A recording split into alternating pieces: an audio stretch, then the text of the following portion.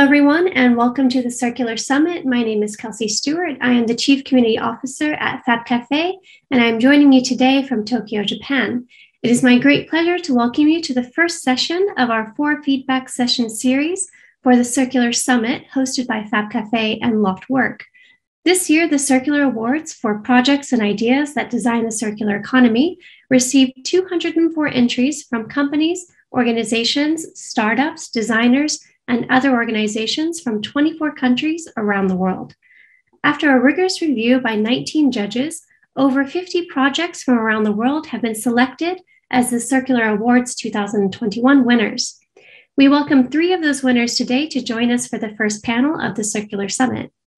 The aim of the crQlr Summit today is to provide a forum and place of learning, including open feedback, questions, and discussion among internationally and professionally diverse game changers in the circular economy. Our first feedback session focuses on the topic of a multidisciplinary approach to the circular economy. Professionals well known in their own field, such as today's guests, judges architecturally trained David Benjamin and two star Michelin chef Richard Ekkebus, have been exploring more sustainable approaches and solutions from within their own professional context. For this session, we want to explore the possibility to look beyond our own professional practices. In order to transform the conventional economic model to become circular, we shall challenge our conventional understandings of how we might source our materials or ingredients, how we might process such materials, and how we might treat the excess that results from such a process. Our panel today will be held in four parts. First, we will hear an introduction from two of the 19 circular judges. Following this, we will hear a five minute pitch from several of the winners of the crQlr Awards, who will tell us about their award winning work. After hearing from both the judges and the winners, we will have a 25 minute open feedback session where judges and winners can freely comment and discuss each other's work. The fourth and final session will be a guided crosstalk on the topic of today's session, a multidisciplinary approach to the circular economy. This session will be moderated by Tim Wong, who is the FabCafe Taipei and Loftwork Taiwan co founder. We also warmly welcome listeners on YouTube to engage on the YouTube chat. So, who are the judges that are joining us today? Uh, first, we have David Benjamin. David Benjamin is the founding principal of the Living and Associate Professor at Columbia Graduate School of Architecture, Planning, and Preservation. Second, we have Richard Ekkebus. Richard is the culinary director at the landmark Mandarin Oriental um, Hotel in Hong Kong. And finally, joining us as judge and moderator today is Tim Wong, uh, FabCafe Taipei and Loftwork Taiwan co founder. Great. And without further ado, I would like to warmly welcome David Benjamin to please join us on the screen. Hello, David. It's great to see you. Hi, Kelsie. Thank you so much, and thank you for the introduction. Um, so uh, I'm going to share my screen, if that's okay. Um, and, uh, you know, I'd like to thank uh, everyone at the crQlr Awards uh, for inviting me to participate and for holding this uh, important event for my field, you know, architecture and design, but for all fields. And it's exciting to be speaking about um, circularity in the context of interdisciplinary uh, practice. Um, last week, I actually was in Glasgow at the United Nations Climate Change Conference, COP26, and I can say, you know, with great um, confidence that the kind of work that all of the um, people and uh, organizations and companies that entered this awards um, the kind of work that everyone is doing, and the, that the these awards and this framework is supporting is so important and relevant to the future of society, the future of our planet, and to the kind of climate commitments that um, nations and companies and um, activists and nonprofit organizations are making. Um, so I um, am going to uh, share some of the work um, that I have done that touches on circularity. First, I'd like to acknowledge the incredible team that I work with. All of our work is collaborative in, in my studio, living, and all of these people individually and collectively uh, literally bring it to life. Uh, so, um, as, as, Kelsie mentioned, I have a small firm, a uh, small architecture firm. We um, engage research and practice uh, simultaneously. Uh, recently, we've been working with uh, circular approaches in some traditionally commissioned buildings, such as the one shown here, the Embodied Computation Lab that we designed for Princeton University. Uh, this is uh, what we call an open source building, uh, deliberately designed to be changed over time by multiple authors, a little bit different than a, a typical building these days. Uh, designing for, for change over time and designing with the idea that an object like a building is passed on you know between people and is not just a, a singular act of uh, authorship um, so this building in particular then also engaged circularity by using a repurposed material uh, for uh, the facade of the building in other words, we took scaffolding boards from New York City construction that would otherwise end up in the landfill. And these scaffolding boards are two inch by 10 inch planks that are used in basically every construction site in New York City. They're typically used for about a year and then literally thrown in the landfill because some of the boards have warping or cracking. And it's easier to create that one year of use rule of thumb than to look a little bit closer. Um, so we took this uh, salvaged material and used it as one of the construction materials uh, for a new building, taking an old material and using it for a new building. Um, we also processed the material in a custom way, thinking about using variation and difference in a used material as a strength rather than a weakness. Um, so we kind of invented a custom way to use computation and fabrication to create this new building facade out of repurposed or, in a way, circular uh, materials. And here you see it um, as the south facade of the building. So, um, in this respect, the facade itself kind of registers a story of a material over time from resource extraction, you can see a kind of tree on the left, um, to initial use as scaffolding for New York City construction, to some processing through a computational analysis of unique features of each board, then to some selective fabrication, we used a kind of custom sandblasting of the wood to reveal some of the unique features, and eventually to reuse as a building facade. So kind of the story of the material from left to right shown in this drawing. Oops. Um, but more fundamentally, this allowed us to start thinking about and developing this new perspective on buildings, on really all buildings, as a temporary formulation of uh, materials, energy, and labor connected to other formulations before and after the life of the building. So our building is just one stop on the life of this material.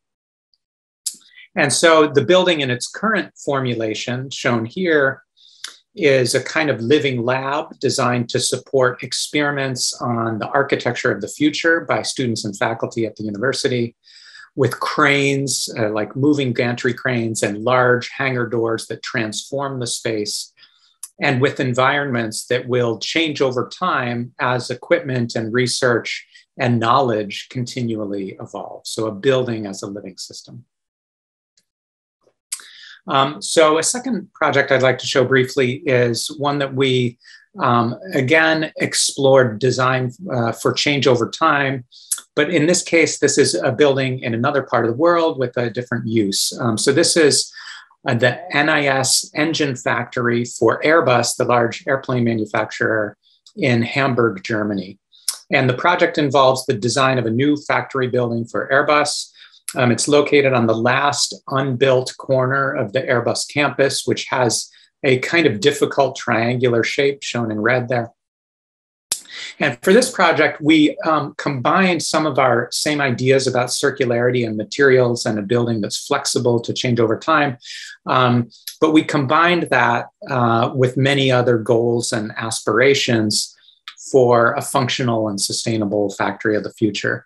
But more specifically, this project involved using a data driven design approach, um, taking advantage of computation to manage a wide range of measurable goals for a good factory, including things like operational goals, financial goals, environmental goals, and even social goals. So here's a more detailed view of those goals. Um, each one is kind of outlined with an equation for how we're calculating that. And with one of the goals specifically measuring a kind of, we could say, the circularity of the building. We called this future expansion. Um, and in essence, we figured out a way to measure whether one design layout and option was better or worse than another one at being able to expand in the future, to be able to change and be reused according to conditions that we can't yet imagine. So, how do you design for the uncertainty that will inevitably come and design a, a building, a fixed object to be changeable and to adapt and to be reused and to be circular? Um, so, in essence, we were trying to see if we could model change over time in the computer. And again, similar to the previous building, we had this idea that many of the components were swappable and transformable in a kind of plug and play system. Um, digging in a little more specifically, here's the way that we calculated the production efficiency of the factory, measuring the flow of materials and people between logistic spaces in green, assembly spaces in blue, and paint spaces in red. And then here is the way that we took our design system and explored the design space um, of many different options for both a larger triangular building and also a smaller rectangular building to fit on the site. Um, we think this process uses the best of human creativity and intuition, as well as the best of data processing and number crunching and it fits well with other aspects of um, more typical design, like schematic design representation of the layout of a building. And it also engages some advanced digital simulation, such as this study of the natural ventilation in the building. In other words, this is a building that has no air conditioning um, for environmental reasons, but we still want there to be a good flow of air. We want to be able to keep the workers cool. Um, this process involved a, a long, uh, a large amount of kind of data processing and algorithms that would help us explore different designs and manage the way to achieve, um, you know, the best circularity score, um, but also the best score for the flow of paint and uh, assembly and logistics, um, as well as um, uh, trying to achieve the best score for things like employee work conditions and other um, social aspects of the building. So we're managing all that complexity um, through a version of artificial intelligence. Uh, but in the end, the goal was to create a usable, functional, enjoyable space, a kind of factory um, that had some of the qualities, the architectural qualities of a cultural space, um, with materials and light um, and green space and views out of the building. Um, so, in the end, we think this is a factory that balances uh, human, environment, production, and uh, function basically, as well as cost. So, that kind of shows how um, circularity can be um, part of a project, um, but a bigger design ecosystem of a project, not the only design idea of a project. And finally, for our discussion about how circularity can change the way we think about many things, um, I'd like to show uh, one last project, and this is an experiment um, that we did uh, with uh, a certain definition of circular materials. And this project started, as many circular projects do, um, with a, a, a, kind of uh, circular diagram. In this case, we were kind of abstracting and simplifying the Earth's natural carbon cycle, the endless uh, loop of growth and decay and regrowth. And the hypothesis of the project was that maybe we could um, borrow from the carbon cycle and then return back to the carbon cycle um, without negative consequences, um, but nevertheless make a useful building. In other words, maybe we could start with low value raw materials, start with waste instead of something like plants uh, or uh, raw materials in the earth. So start with the low value raw materials, spend a very small amount of energy converting those raw materials into building blocks, uh, make a useful structure, and then at the end of the useful life of that structure, return all of that physical stuff of the building, all of that matter back to the carbon cycle rather than having all of that matter sit in a landfill for 100 or 1,000 years.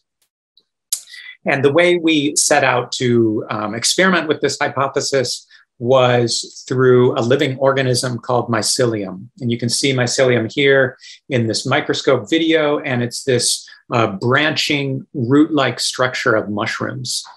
And it creates these incredible patterns. You can see these nutrients coursing through these thin white filaments. Uh, and it, it creates um, this, this uh, kind of signature look.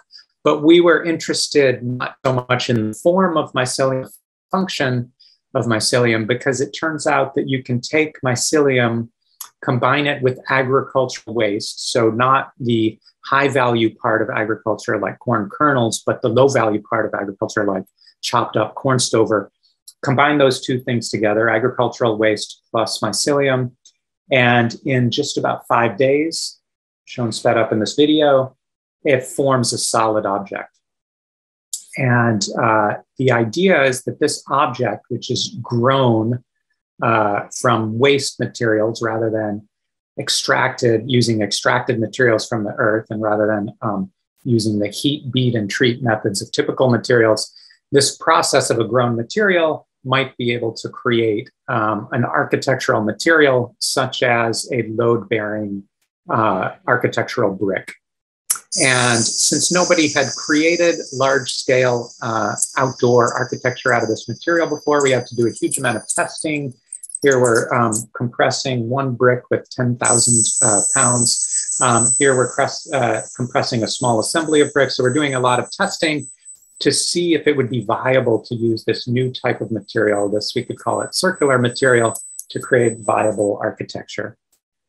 Um, and the, uh, the kind of target of this project uh, was to create a uh, temporary structure in the courtyard of the Museum of Modern Art's MoMA PS1 in New York City. And um, here we are with uh, assembling the structure in about three weeks and adding to our kind of material ecosystem and our kind of technology ecosystem a kind of um, layer of creativity and expertise because we have um, graduate students from Columbia University who know a lot about um, architecture and form and computation, working side by side with brick masons who know a lot about stacking objects. Neither of them had created something with this new material before, but they kind of um, combined their knowledge and problem solving together. And I should note at this point that all the people that worked on this project were fairly paid. Um, there was no volunteer labor, and in essence, combining a kind of uh, layer of um, of of, uh, of kind of labor and fair society treatment to our experiments with architectural materials. Um, here is the constructed structure. Um, you can see it in the context of the more typical glass and steel buildings of Manhattan in the background and the uh, typical uh, red clay brick uh, building of MoMA PS1 uh, closer in the foreground. And this was a kind of medium scale test of this idea of uh, a new grown material, a material from agricultural waste. And I say medium scale because it was more than just one story of a building, it was about 40 feet tall. And more than just a few different bricks, uh, you know, on a lab bench, it was uh, 10,000 bricks. So we were testing the scaling up of this material. Um, and here you can see what it was like to kind of walk inside um, the structure. And this was important for us because we wanted to test this new circular material beyond just its technical performance, but also we wanted to, to experiment with its, I mean, we could call it like uh, atmospheric performance or its creative performance. What would be the qualities of light and shadow, texture, foreground to background? Uh, what would it feel like and smell like uh, to be inside a structure made of this new material? Um, but of course, the ultimate test of any project installed at MoMA PS1 in the summer, and this is part of a, uh, a long history of competitions where um, young architecture firms are selected to design um, a summer pavilion for MoMA PS1.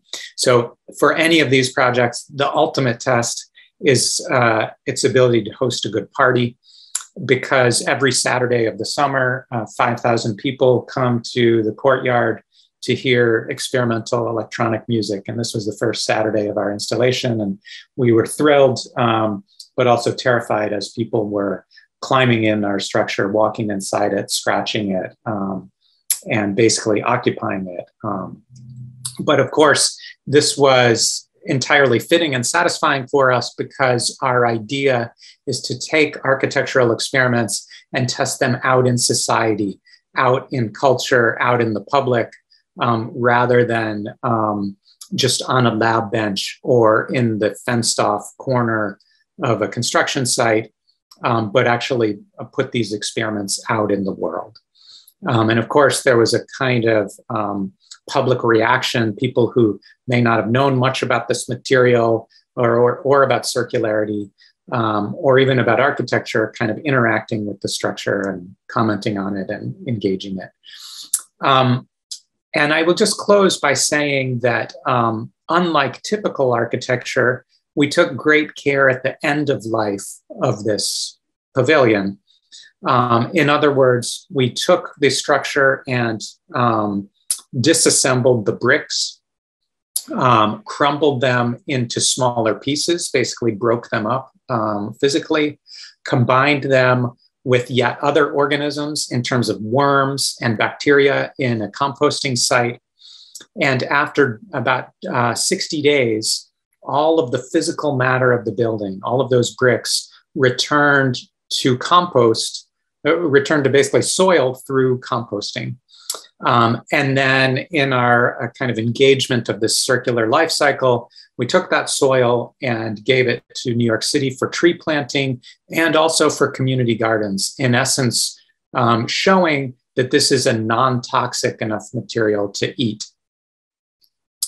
Um, more broadly, because we do a series of experiments where we're trying to um, look at some specific new materials or new ideas or new technologies, but also trying to see could this uh, be a broader idea for us? And our broader idea for, for ourselves and potentially for other architects and designers who are interested is that maybe we can spend as much time designing to disappear as we typically spend designing to appear. So, with that, thank you very much. Thank you so much for your incredibly inspiring presentation. I deeply appreciate the time and effort you put into that. I, I truly enjoyed uh, witnessing both of the projects that you were explaining about. Thank you so much. Thank you. Great. So next, I would like to warmly welcome Richard Ekkebus, Culinary Director at the landmark Mandarin Oriental Hotel in Hong Kong, to join us on the screen. Hi, Richard. Thank you.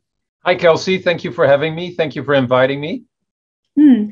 You may begin your presentation when you're ready. Sure. Well, thank you, first of all, David, for a very inspirational presentation. Mine is a little bit shorter. Um, uh, just wanted to introduce myself. So, uh, my name is Richard Ekkebus. I am the Director of Culinary Operation uh, and Food and Beverage of the Landmark Mandarin Oriental. Um, I'm also the consulting chef for 58 Degrees Grill in the Mandarin Oriental Pudong in Shanghai. Um, we have been holding um, in Amber Restaurant um, um, two Michelin stars since uh, 2008. Um, we have been voted uh, two years ago Asia's 50 best uh, most sustainable restaurants. And uh, Amber is a, a regular uh, in the world 50 best restaurants since 2010. So uh, Amber Restaurant, that is uh, the iconic restaurant of the landmark, uh, not the only restaurant we have in our building, of course, and, and I will go uh, further into this um, uh, as we go. Uh, but we are part of a hotel called the Landmark Mandarin Oriental, which is part of the Mandarin Oriental Hotel Group. it is the only hotel within the group that is branded under a platinum label. as you might know, all Mandarin Orientals around the world are branded in a in a golden uh, fan. We have a platinum fan, and that makes us uh, somewhat uh, different, but also special, in my opinion, uh, within the group. We are uh, basically an hotel that spearheads many initiatives and start up many ideas and concepts that have been adapted eventually within Mandarin Oriental over over the years as group policies, and particularly in the field of sustainability. Um, we are, uh, as we call it, an urban oasis located in central. Of course, uh, Hong Kong is uh, an extremely urbanized city, but uh, we, we want to be seen as a hotel that is not only uh, a hotel, but that it is really a, a, a, a sort of a, ro- resort within, within a city. We have 111 designed rooms um, and suites, which includes the entertainment suite, as you can see within this, in this picture. We have uh, a very large, uh, actually one of the largest spas uh, in Asia, urban spas in Asia, which is the award-winning Oriental Spa, um, which is basically um, an urban sanctuary for relaxation and wellness. Uh, it is not only spa treatments, but also wellness uh, that we that we um, uh, undertake in these two floors. We have six incredible restaurants. of course, we have two Michelin starred Amber, but we also have three Michelin star Sushi Shikon, which is an Edo style sushi restaurant by uh, Yoshitake from Tokyo, uh, where he also has uh, three Michelin stars. Um, we have a restaurant called Som, which is basically an abbreviation of sommelier, and it's a restaurant and bar led by sommeliers. We have Mobar, which is an all day dining and uh, uh, a bar where we have uh, many live music performances and daily DJ performances. We have PDT, which is uh, the only outpost of legendary bar in New York, uh, Please Don't Tell, um, and uh, a bar that was uh, constructed uh, completely of reclaimed materials. Uh, and we have Kappo Rin, which is basically the second restaurant by Yoshitake. It's the only concept he has ever done besides his Edo-style restaurants, and um, is a restaurant which basically means cook, um, cut and cook, and, and it's a modern uh, Japanese restaurant. Um, our hotel is, uh, as mentioned, a driving force within uh, sustainability. That is not something that we have um, um, um, a direction we moved into in the last years. It's an initiative that has grown over the last 16 years of our um, uh, existence. Um, our um, sustainable efforts are built under three um, pillars, uh, which we divide into a pillar of social, environment, and sourcing. Uh, under these pillars, um, there are many initiatives that are spearheaded uh, throughout the hotel, throughout the spa, but also throughout our restaurants and bars. Um, within our restaurants, of course, sourcing uh, is an extremely important part. So, what we're trying is to uh, be um, uh, not only um, promoting a very strong plant-based dining uh, uh, agenda, but also where we are very um, focused on uh, sustainable sourcing. So not only in terms of um, um, uh, seafoods and, and, and proteins, but uh, also in terms of vegetables, of course. Um, we are uh, a driving force for the last 16 years in terms of sustainable seafoods. I am an active member of the Hong Kong Sustainable Seafood Coalition, where we try to drive change in legislation. Um, we uh, have driven this for the Mandarin Oriental uh, group and has eventually been adapted as a global uh, policy within the group. Um, we are uh, very focused on ethical source protein. And what do we mean with ethical source protein? Is that, of course, we live in an era of uh, industrial farming. Uh, and with that comes uh, a lot of problems. Uh, and what we're trying to focus on is uh, proteins that have been um, uh, raised according to a very high standard um, uh, of farming, meaning that, of course, the well-being of uh, animals are well taken care of. the, the, that the feeding that are used within the proteins we serve that are local, that um, there is no usage of antibiotics and growth hormones, and that we basically promote um, heritage uh, uh, heritage uh, meats and poultry within our menus. Um, then a very important part of our operation have been over the past uh, uh, decade has been to eliminate uh, single-use plastic from our operations. Um, and we have been uh, very successful in doing so. We have worked with many manufacturers manufacturers in developing uh, alternatives for for packaging that are plant-based or plant fiber-based.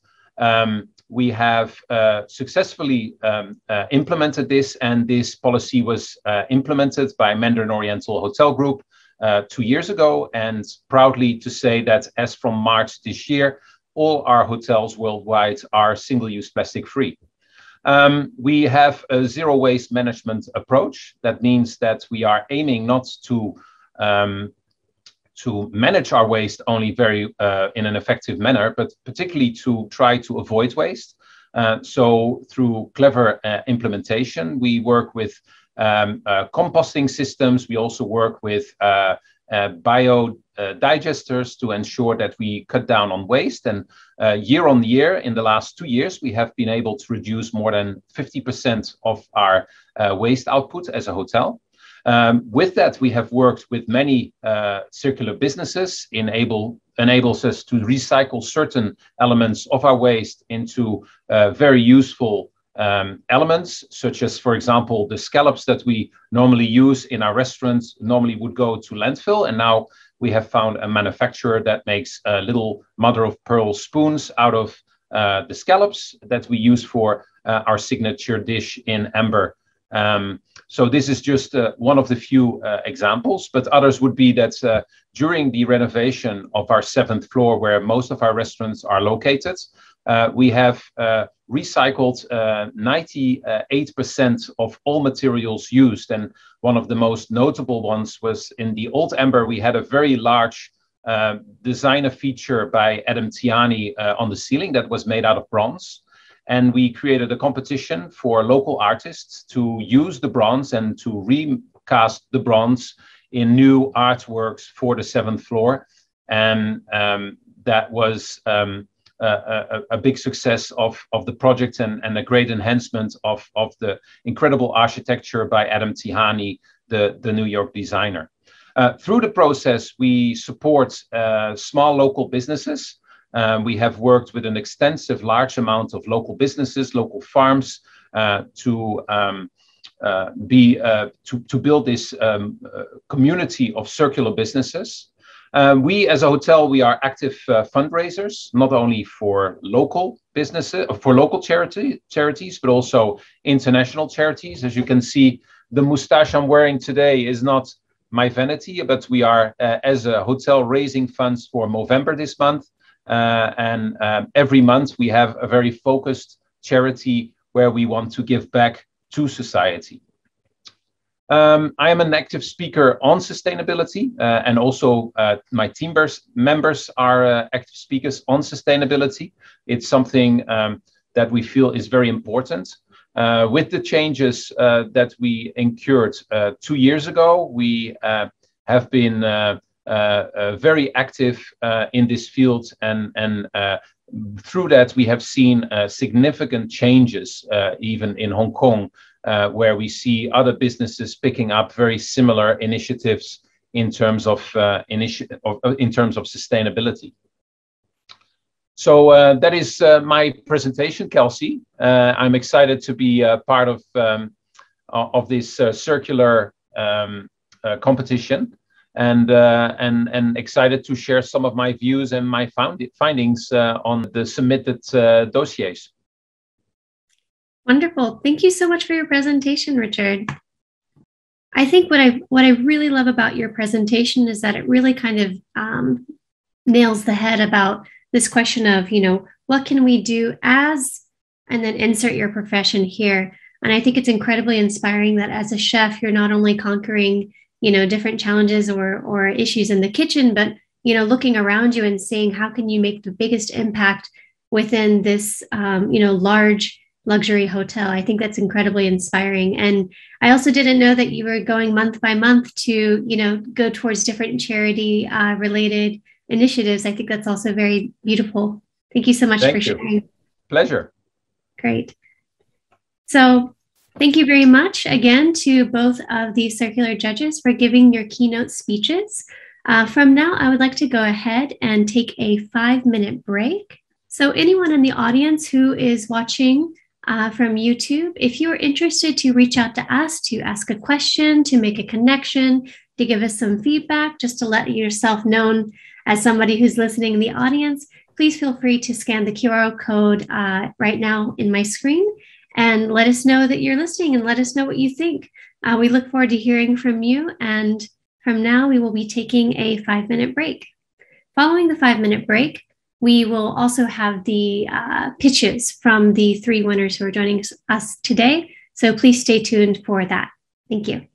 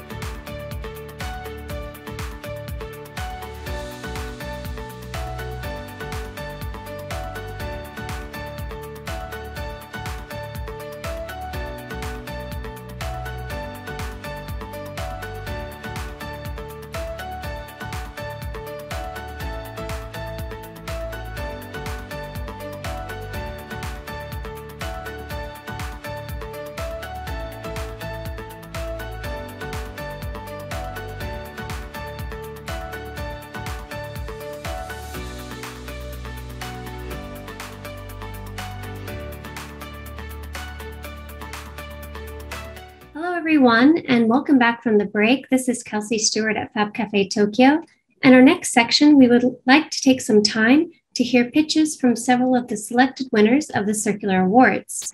First is going to be Dr. Noryawati Mulyono, who is the co founder and CEO of Biopac. Her winning work is entitled Biopac Seaweed based biopackaging, sustainable, compostable, circular, and edible. Her work was selected by Richard Ekkebus. Second, we will be hearing from Linda Ding, who is the co founder of INOW. Her winning work is entitled INOW Transformative Experiences to Return Back to Our Roots. Her work was selected by David Benjamin. Third, we will be hearing from Taishi Suzuki. Taishi is the Manager of Business Development at Kaiho Industry Company Limited. His winning work is entitled Eco Friendly and Profitable Auto Recycling System.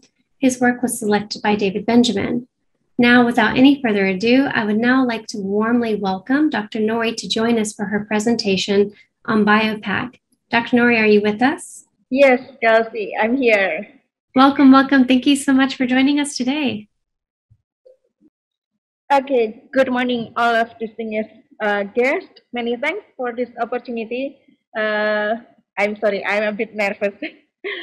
so, um, plastic has caused severe pollution problem and it enters uh, our food chain. So it's not only about uh, eyesore problem, not only about the cleanliness, but also about health problem. Plastic cannot be excreted uh, normally and it remains in our body and it could be transferred to the baby through the placenta.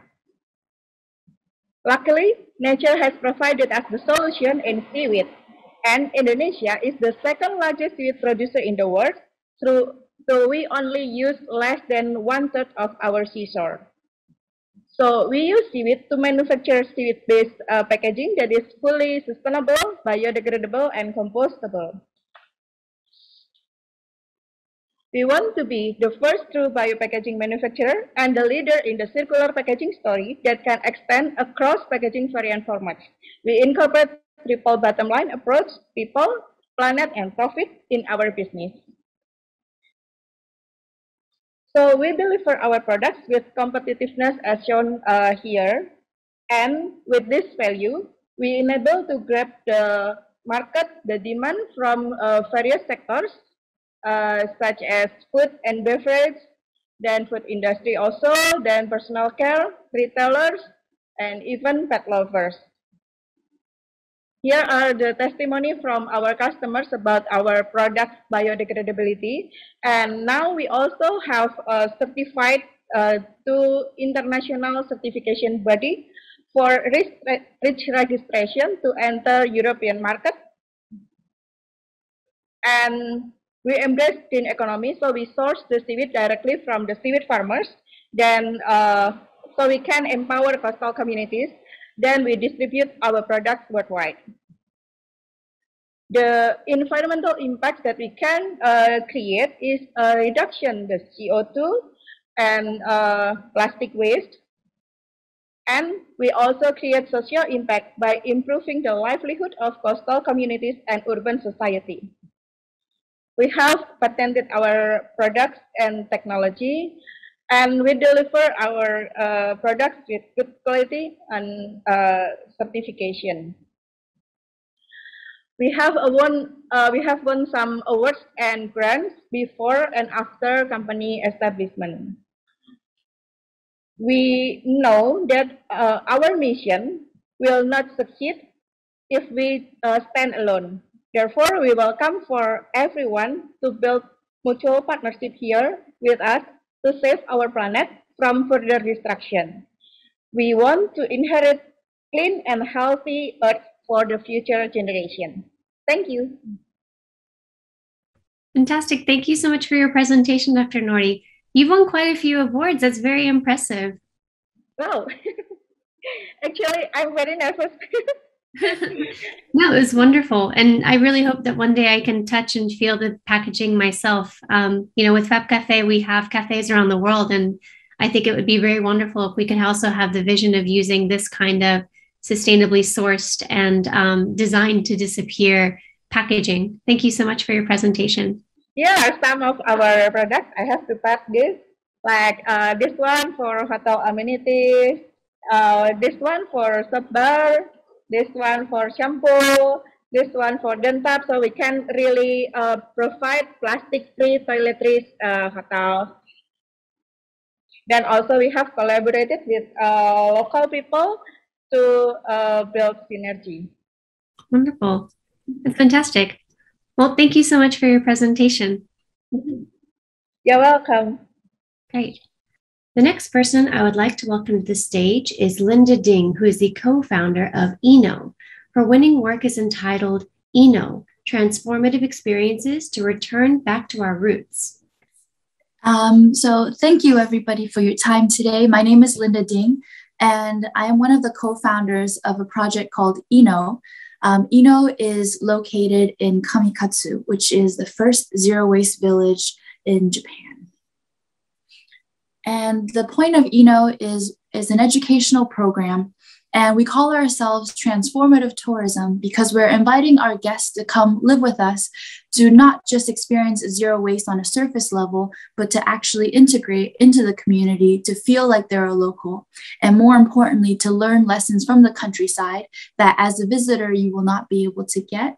Um, and we want to be able to give people a chance to experience a new perspective, especially if from uh, most of our guests who are coming from cities, coming from a background where they've never actually experienced life in this way. We want to give them a chance and to see that they can learn a different way of living. And so INOW was started in Kamikatsu, and Kamikatsu back in 2003 became the first village in Japan to de- uh, declare for zero waste. And what that means in Kamikatsu is that there is no uh, garbage collection system. So there is no way of collecting your garbage individually. Instead, every resident is responsible for bringing their own waste um, to our central collection center. And at the Central Collection Center, all of the waste uh, each resident brings is separated into 45 different categories. And the benefit of this is that the idea behind zero waste in Kamikatsu was that they wanted to divert 100% of garbage away from landfills. And when you look at the national average in Japan, um, it is about 20% recycling and 80% of waste is incinerated. Whereas in Kamikatsu, it's almost the exact opposite. We have an 80% recycling rate and only 20% is incinerated or put into landfills. And because of this, um, this has garnered a lot of international attention, um, of course, also from Japan as well. But that means that there are a lot of visitors who want to come to Kamikatsu to learn about zero waste here. And in that sense, most visitors are only able to get a what we call a study tour. So they'll go to the garbage center and just take photos of the different categories of separation. But the way that this actually has an impact on someone is to live in it yourself to be able to experience what that means to treat waste in this way. Um, and as a personal experience of living in the village, by taking garbage and not directly throwing it away after you're done into the garbage can, and therefore your mind considers this material garbage, by actually cleaning and separating it into its proper categories, we can reconfigure the way that we think about what is waste in the first place. And so, because this system is so important by having hands on experience, we created INOW so that people can actually have a chance to experience this for themselves. And with INOW, we started with um, an introduction to zero waste as a way to bring people in. But more importantly, what we're trying to showcase is that beyond just the zero waste system, um, there is something more important, which is information and knowledge in the countryside in a past way of life that is almost all but forgotten. Um, since now we are living in this consumerist society where the idea is that anything you need, we will go out and purchase it. Whereas in the past, circular meant that their economy existed in every single locality. And so when you needed something, you first learn how to do it yourself. And if you didn't do it yourself, you would have a neighbor or someone close by who would do it. So everything was kept local. And a lot of this self-sufficiency has been forgotten because we have, you know, the ubiquitous onset of shops and stores everywhere.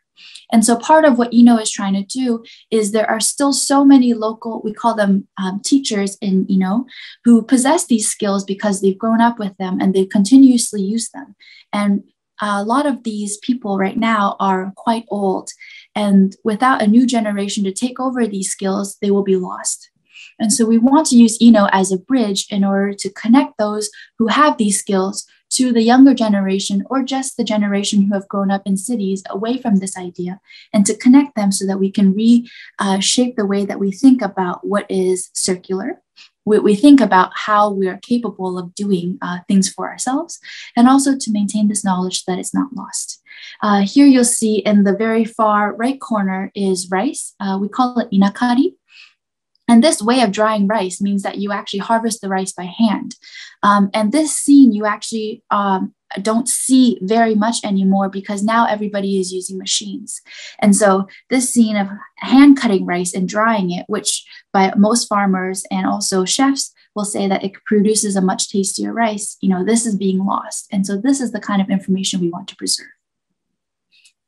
An example of a teacher um, that we introduced to our guests is Osamu Nakamura-san, and he actually lives a life that is fully sustainable. Um, he collects firewood so that he heats and uses energy through fire.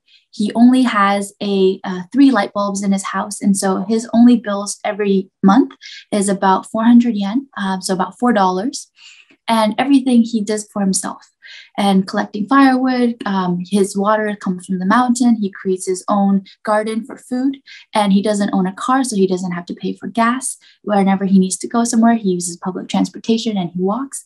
And so this is a kind of lifestyle, you know, that you may read about um, in magazines about how to be sustainable, but it's very hard to actually see someone living that. And so we want to give people a chance to see that this kind of lifestyle actually exists and is possible. And as um, a way of practicing what we preach. We're also, um, the three co founders on the team, we're also trying to learn by doing as well.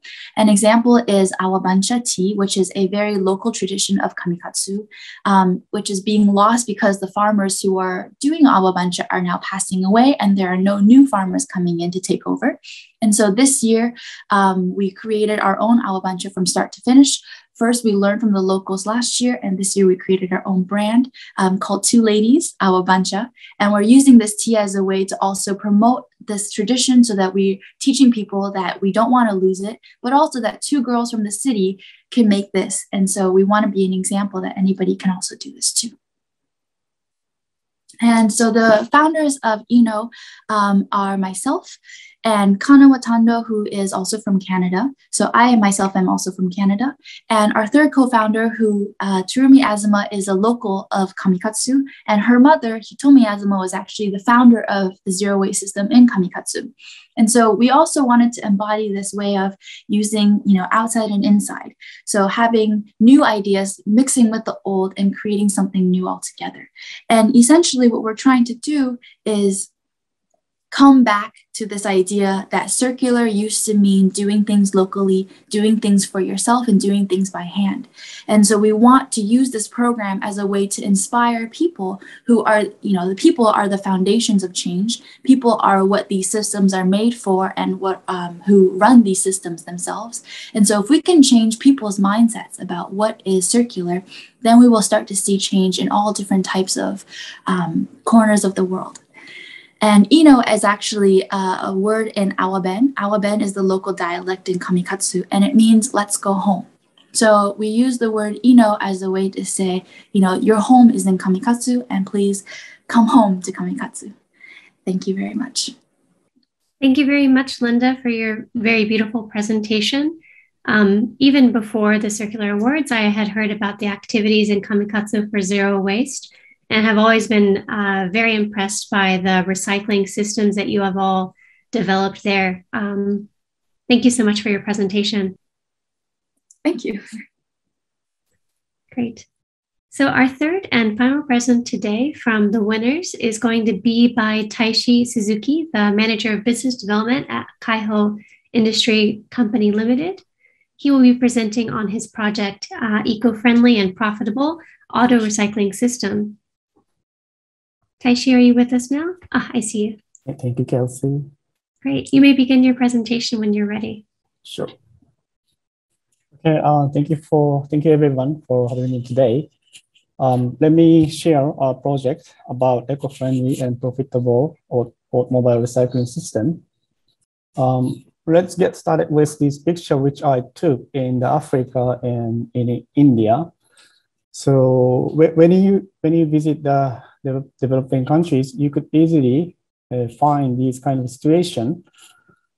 In the world, uh, 1.3 billion mobiles are running uh, in the world, but in the end, these are going to be the end of life.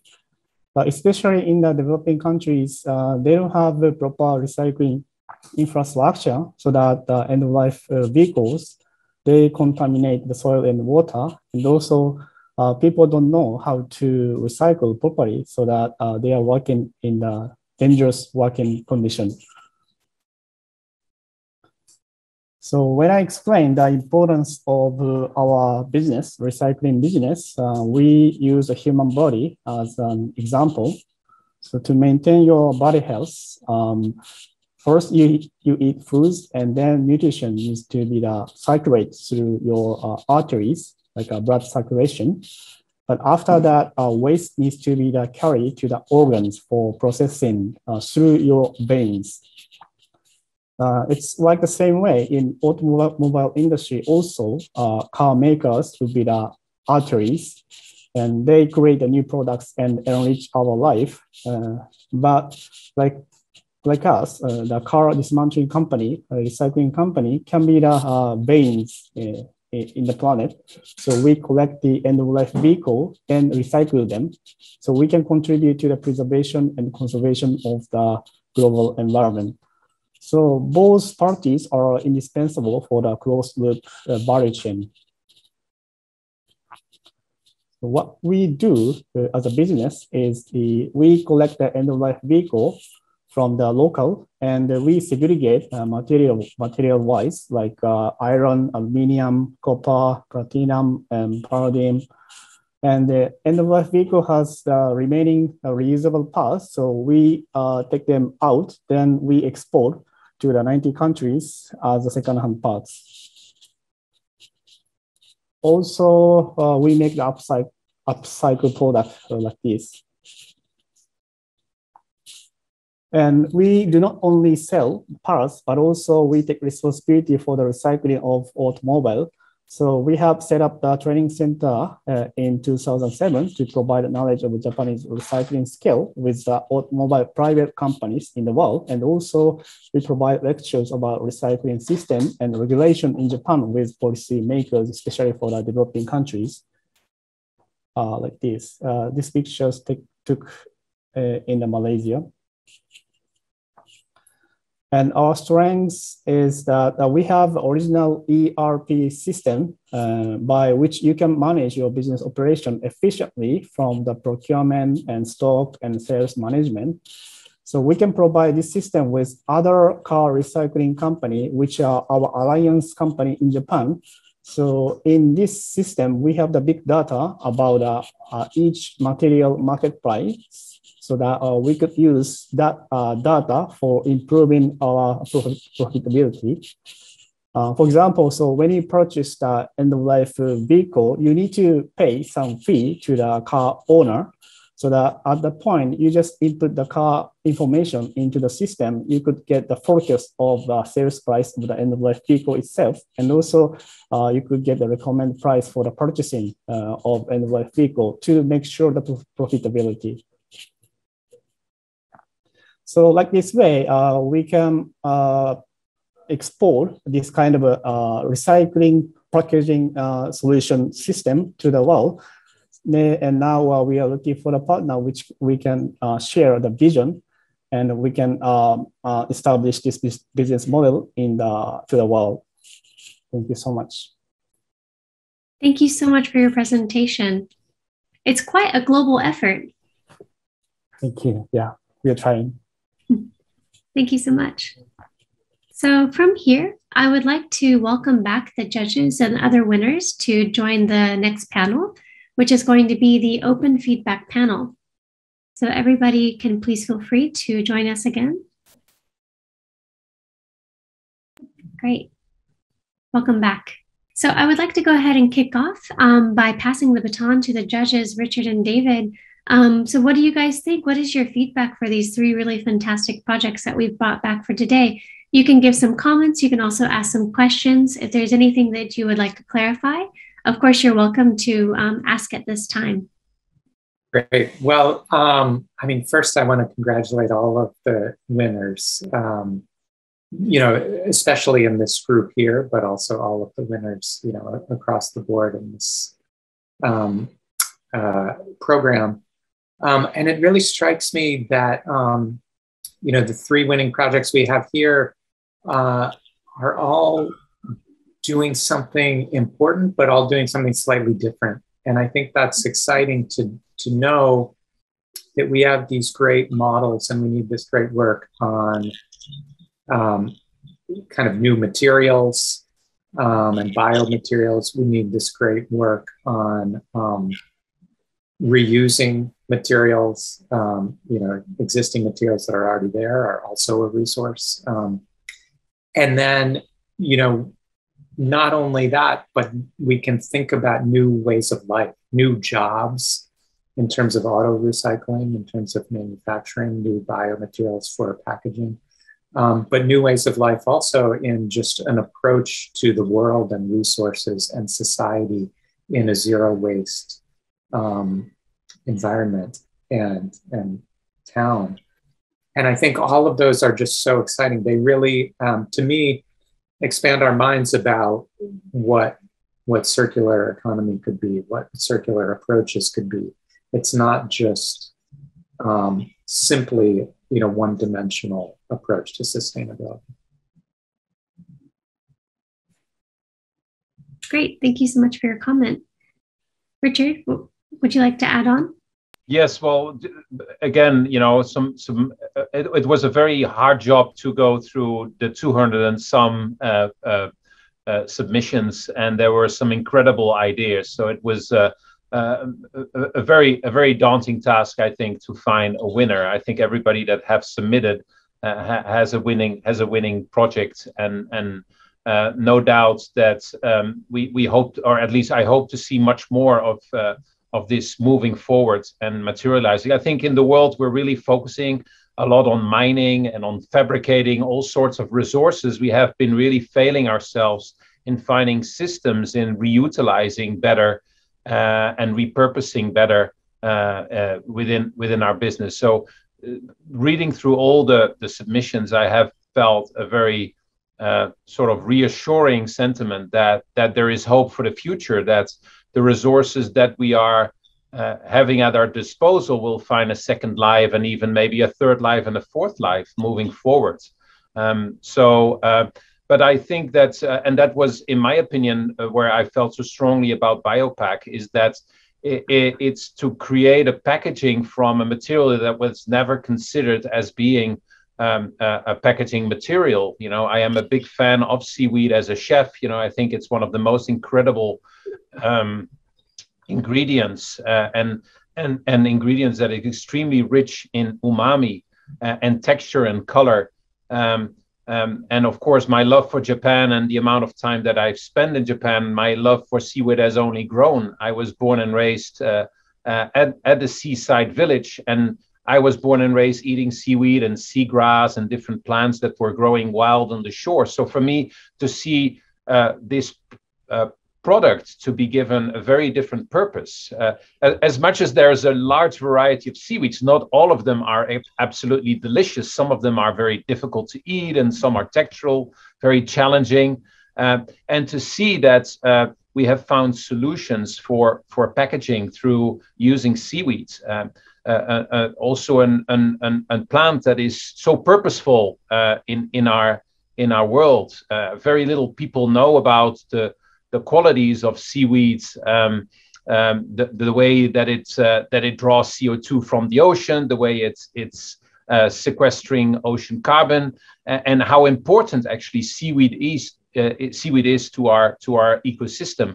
Uh, I think is is not fully known, and um, I think that. Um, uh, you know, th- this was for me the one that really stood out. But having said that, I think every single submission and every winner that is here on this panel uh, has been doing something incredible. I'm really uh, seduced by the project uh, of INOW, where you see where we are able to build a, a, a, a village where basically we live in a perfect ecosystem, uh, eco ecosystem where you know there's absolutely no uh, waste being produced, um, and I definitely put it high on my agenda to uh, to visit that village very soon when I when I'm able to travel again. Uh, uh, I'm not a big fan of cars. I think they are wasteful and purposeful, but to find a solution for for uh, the recycling of cars seems to be really logical. Uh, and and um, my, my question maybe would be to Taishi is what part of a car is not recyclable? As I can imagine, there must be some of them that are very challenging, at least, to be recycled. Um, and I would love to hear about that, of course. You know, what what are and that maybe could create new circular economies. Maybe is there's a very smart pe- person listening that will find a, a solution to to recycle those parts as well. Um, but uh, you know, I, I have been very inspired by all these initiatives, and uh, and I will follow them all very closely with uh, with keen interest. Thank you for your comment, Richard. Taishi, would you like to respond to his question about um, what part of the car might be difficult or perhaps right now thought to be impossible to recycle? Uh, thank you, Richard, for that question. Yeah, actually, in Japan, it is very hard for recycle like uh, plastic and tire, rubber, and glasses, and car seat, uh, urethane. These are not uh, recyclable. I guess, uh, I mean, it's it is they are going to the uh, incineration, but it's not materials recycle. Okay. Yeah, there is you know uh, we can segregate material wise, but it, there is no technology for uh, material recycling, and also recycling cost is too much, so it doesn't pay in the mm. market. Yeah. I, I, I, read a very interesting article how about actually uh, tires were recycled in Africa and be used in asphalt roads, which I thought was very well, sort of really uh, make sense, you know, to give uh, the, the wheels that are that are uh, driving the roads to reuse them after their uh, circle of life into the roads itself really made sense to me. So um, maybe that that's that's where there's there an opportunity in Japan. Yeah, thank you. Yeah, there, there is the you know some recycling technology like uh, in asphalt, but the market volume volume is you know small so mm. but the number of end of life tires are quite a lot mm. so there we need to find some you know market for the recycling I, I want to jump in there and mention something that I heard, you know, just last week um, at, at the United Nations Climate Conference. Um, there, at, at one of the many events, there was um, a vice president of sustainability from BMW. So it makes me think of you, Taishi. And um, he said something to the effect of um, how we need to rethink composite materials, you know, which we used to think, even just a few years ago, maybe some people still think it today, like the composite materials would be the future. They're higher performance, they're lighter weight, things like carbon fiber and, you know, they certainly can be remarkable. But it's it was um, fascinating for me to hear, um, you know, one of the probably former champions of composite materials, like a car company like BMW, saying we need to rethink composite materials and refocus on mono materials in order to uh, allow for more circular approaches and more sustainability. Um, so, you know, hopefully, Taishi, part of what you're doing, you know, can increase the awareness of the manufacturers themselves about the need for, um, you know, playing their role in in this circular ecosystem. I mean, I I also wanted to pick up on a couple of things though. I wanted to say that um, for the auto recycling, I, I thought one of the most remarkable things about the, the project and the work you're doing is that you're combining circularity and reuse with meaningful labor and and good jobs and so it's not just about what's happening to the physical objects and materials but it's about knowledge creativity um, you know, the value in having a good job. Um, and I thought there was something that it really um, reminded me of some early work in sustainability um, back in the 70s. And one of the pioneers of the, the whole re, uh, reduce, reuse, recycle mantra um, uh, was early in his career. This is a Swiss architect. Well, he came up with this idea that um, the industry, he was looking at buildings, but the same could be said for, for cars, I think, um, that the industry could reduce its energy consumption and create good jobs at the same time. And the trick was through what he called prolonging the useful life.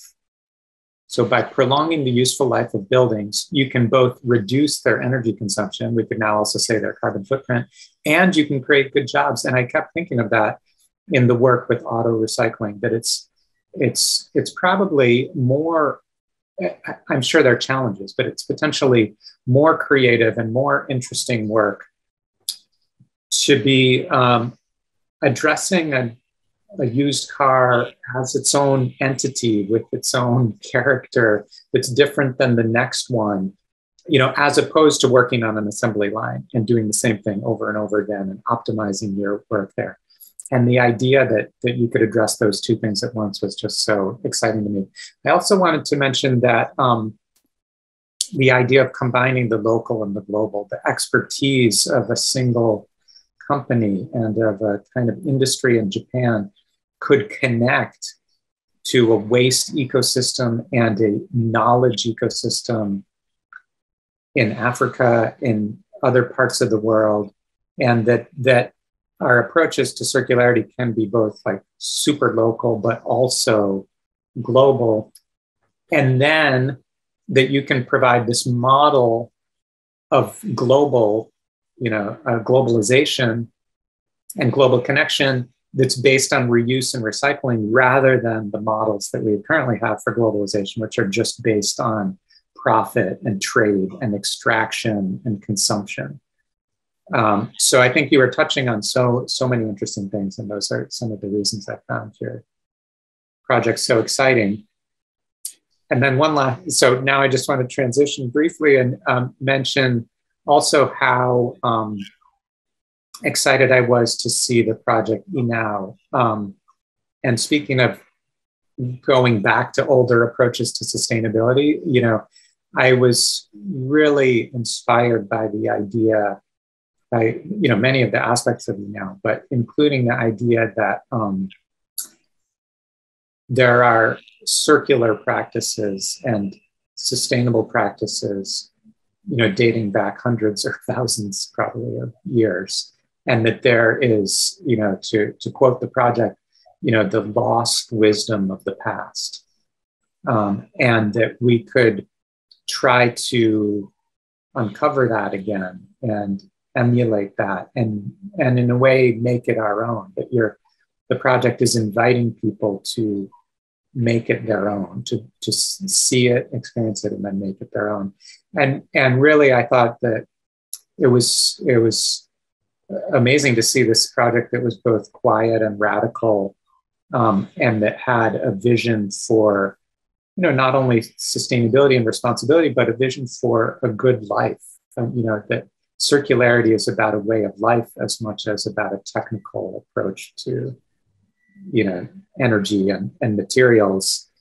Um, and that and that we really need to change our way of life um, to address the immensity of the problems. And that it can be wonderful and appealing not just a sense of sacrifice.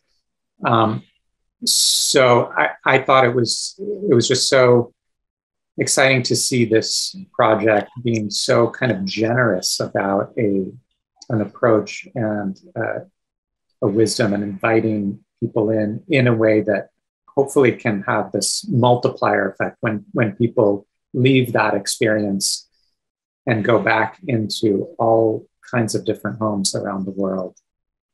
Thank um, you. So I, I also really um, was inspired by this project. I, I mean, just one thing for from Kamikatsu, I think that in the media, it's portrayed as this perfect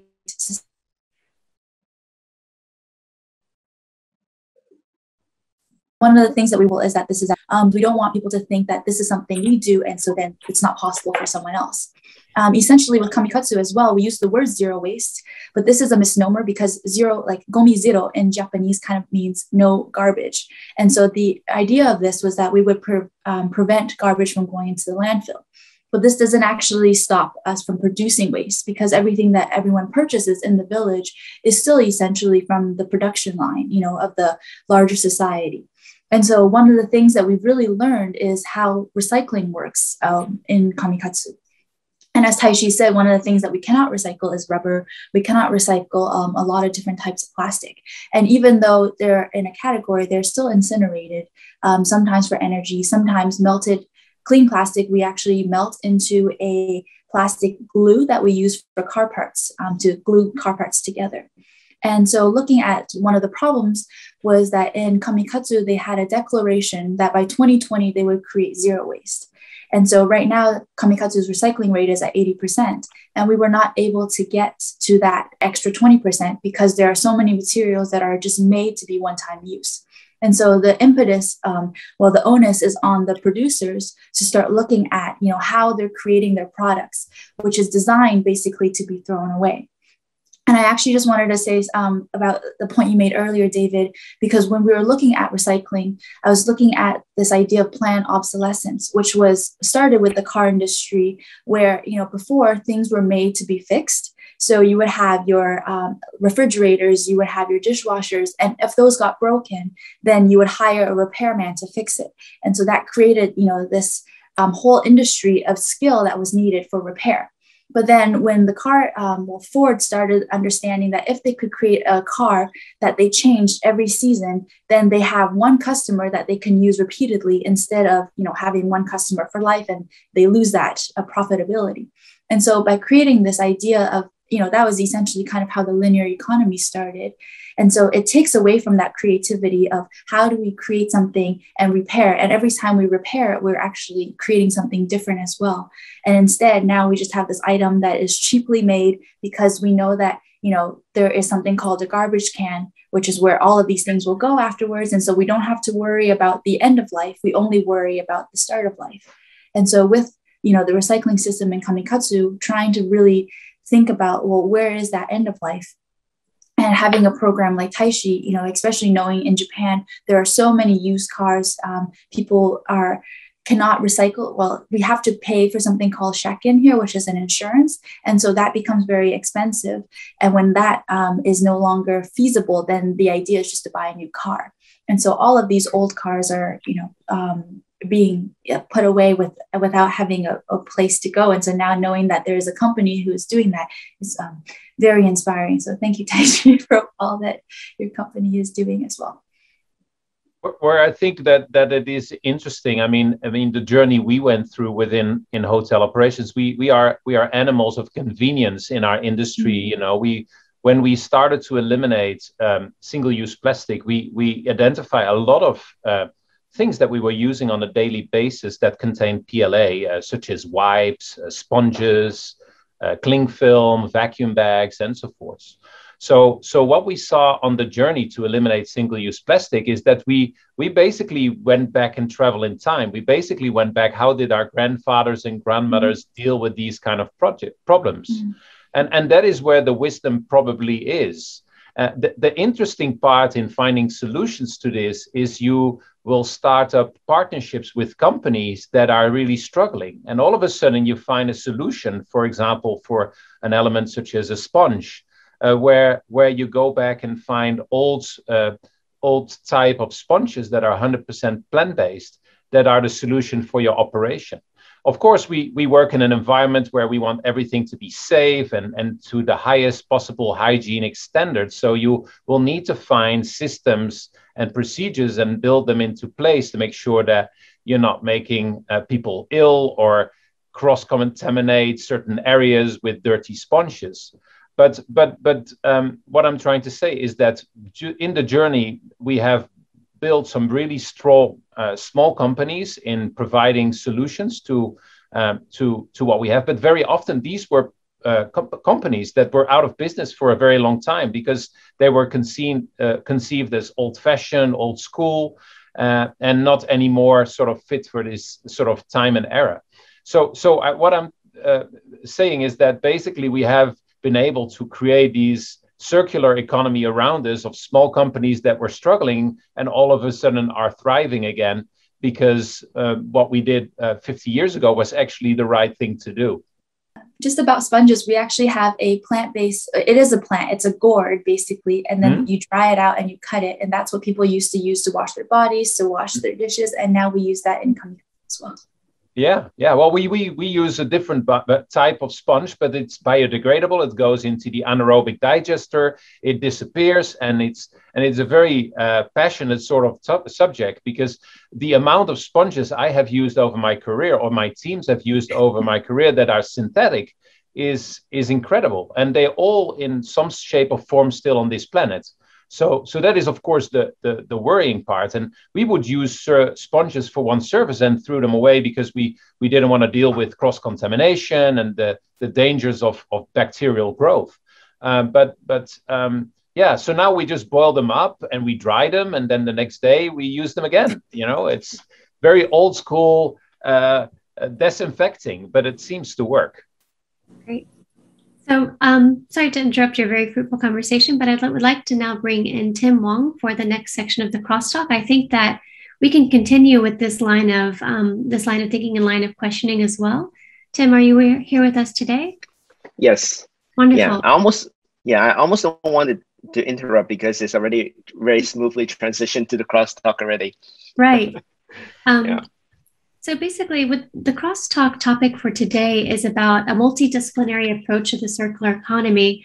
Um, I think that perhaps some of the winners have been uh, working in their field for a great deal of time, um, perhaps as a researcher, perhaps as a business person, perhaps as an informed citizen. Um, at the same time, I think that something interesting about the players in the room is that, you know, we're all thinking about these issues for our own uh, industry, our own work, but also because we care deeply on a more broad, um, in a more broad perspective. And so, with that, I would like to ask Tim to, um, yes, continue with the line of questioning. Um, in particular, uh, you know, bringing in, how do I say, it, like a multi-layer conversation about um, what I think ties these projects together, which is how do you deal with the waste once it's there? So, for example, in the case of um, Norway with Biopac, um, from the beginning of the design of, of the seaweed based um, single use uh, packaging material, that's the kind of like at the forefront of the design of this. Um, so with that, yes, I would like to bring Tim into continuing the continue the questioning. Yes. So so I, I do wanted to like smoothly go back to the conversation that you guys are in. And um, in the context of what we were just tapping into right now is that first of all, I I, re- I really enjoy the, the, kind of wide spectrum of the work every all the speakers are doing today, and then this is I think really really a great opportunity to kind of share and also uh, maybe having a, a, more real conversations uh, about like because I think all of you guys already proved that that that you guys are pioneers in your own industries and your own field practices. Um, and then you are really willing to go that extra mile, not just for your own benefits, but actually seeing the bigger picture of how we should live uh, as a society, not just for our generation, but for, for the next generation. And on that note, I think one of the key points that you guys are already touching on is that there's a paradigm shift and a, and a change of mentality that you're trying to convince a larger group of public is that like previously our linear types of economy maybe there is a beginning and an end but what you guys are doing actually is really trying to convince how to reconnect the ending with the beginnings.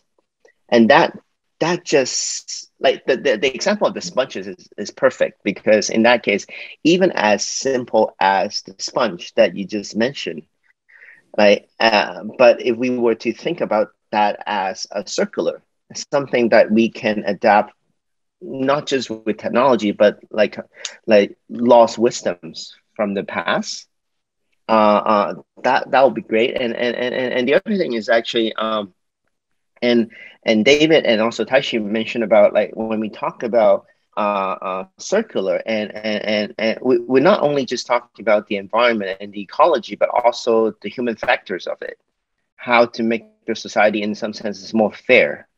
I, I think you guys are tackling all these um, issues uh, from multiple perspective, and then we kind of have we, we we're trying to tackle this from all fronts in order to make it work. Yeah, it's almost like if we're diffusing a bomb, it needs to be pressed on both ends in order to diffuse it, rather than just pressing on one one buttons. So so so on that note, actually, the real topic I want to bring in is actually what is the current challenge? Like, what is the current bottlenecks that you guys are facing individually?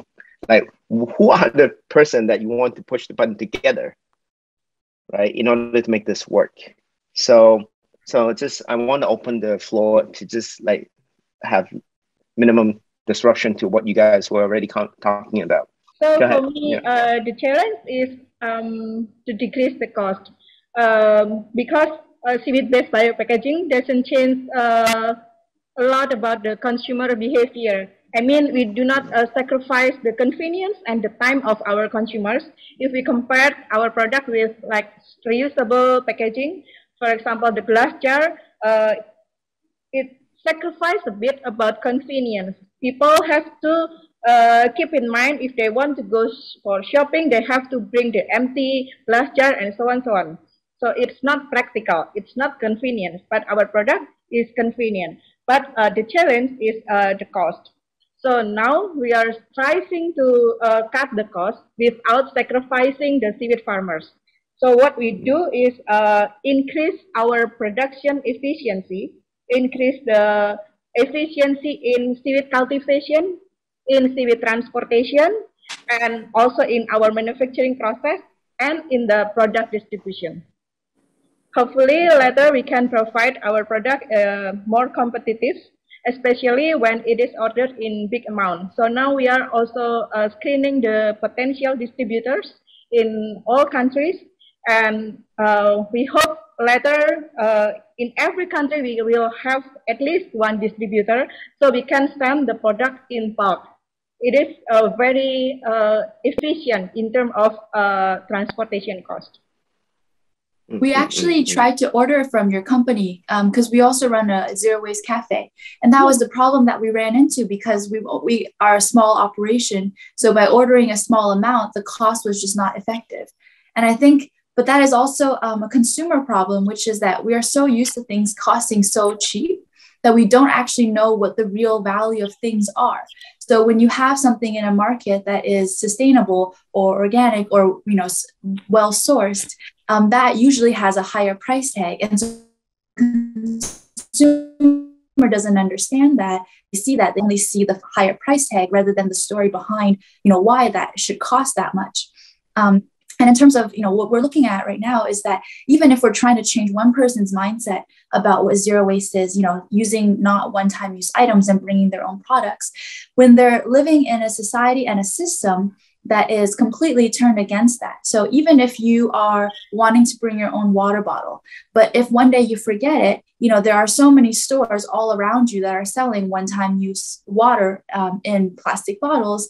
It's very difficult to use that mindset every time to say, "Well, I want to be sustainable." When convenience usually is the thing that is going to trump that in most of the cases. And so I think for us, the biggest problem, I mean, not just us, I think just as society in general is that we're living in a system that is staggered against the individual. And system changes aren't happening because the companies are not asked to stop producing, you know, one-time use products. And then the onus is on the individual to be a better person. And so we create this idea that if you're not being sustainable, you're you're the one who is the problem rather than the system itself. And then so by creating these different products and creating this conversation where we're starting to educate the consumer to understand where you know and become curious about where their products come from then we can slowly start to change mm-hmm. um, my concern is that the change will come too slowly if it's not coming from a policy perspective because you know again we're we don't have any kind of um, push, right? You have uh, ideas coming in about what is climate change, you know, all the different dangers of it, but then there is no actual consequence if you do not act upon it. Um, and we're seeing that from a governmental perspective, right? The governments themselves from COP26 did not try to make any push towards actually creating legislator that will stop um, fossil fuels. So from the top down, there's not that kind of a um, em- emergency. And so then and that i mean i don't have any answers to this question. It just becomes what what should we do in in that sense where the system is not actually changing? Yeah i want to pick up on that because i think the idea that um uh well just the ideas of policy and government. Um, so in, in other words that you know the bottleneck in one sense is cost and and Nora, your, your innovations are so exciting, and I'm sure you are going to be continue to be so innovative and bring down the cost. But at the same time, we want government standards, regulation, and incentives to help um, price things properly. You know, so you know, for example, if there was a tax or a penalty mm-hmm. for waste a tax or a penalty for carbon emissions, then immediately, Nora, your product would probably be the least expensive. Um, and it just shows us that our systems are already designed. I mean, it's not like our systems are neutral now, they're designed against circularity in some cases. Uh, um, and uh, just one quick thing um, I was actually pretty surprised to hear. Um, I mean, we hear it in the news, and I was hearing it, you know, at at COP26 that all kinds of businesses are asking the government to create standards, to have regulation. They want that. Um, even if the companies are just still basically trying to make a profit, they understand that their long term survival requires them to be more circular, requires them to be more sustainable. Um, and they want more certainty about what's going to happen. And so they, they're almost begging the governments to actually be more proactive in the ways you're describing. You know, Linda and Nori and Richard, were describing aspects of this too. And so I, I think I think that is one model forward to get rid of the bottlenecks. And then Tim, if we have time later, I also think thinking about this kind of systems thinking that people are bringing up, including what you're working on, Richard, and um, connecting different industries and having you know so not only dealing with um, materials but also dealing with food and also dealing with waste and also dealing with energy. And i think that can be a really exciting multiplier effect to a lot of the work that everyone's doing individually and to the great thing that the crQlr Awards are doing which is bringing everyone together. Like this community could have this um, you know multiplier effect. Yeah yeah, I, think I think one of the things that I, think the because you already are trying to use the kind of data on the hard infrastructure, meaning that the the the widest spectrum of how a building is performing.